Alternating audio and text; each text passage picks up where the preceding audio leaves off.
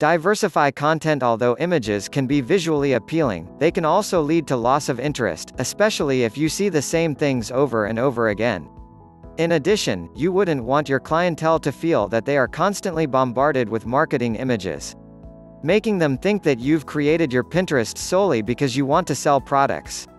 Make your pin boards interesting by mixing promotional images with fun multimedia. You can even create boards which encourage interaction among your clientele.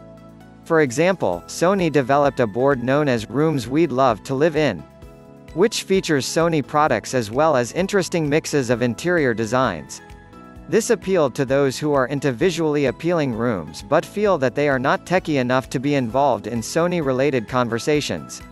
Another interesting thing that you can do is to develop original images with concepts that are related to your brand. Have a shoot with artists who can make use of your products, company logo or other things that can be related to your business. And offer pinners images that they won't be able to find anywhere else.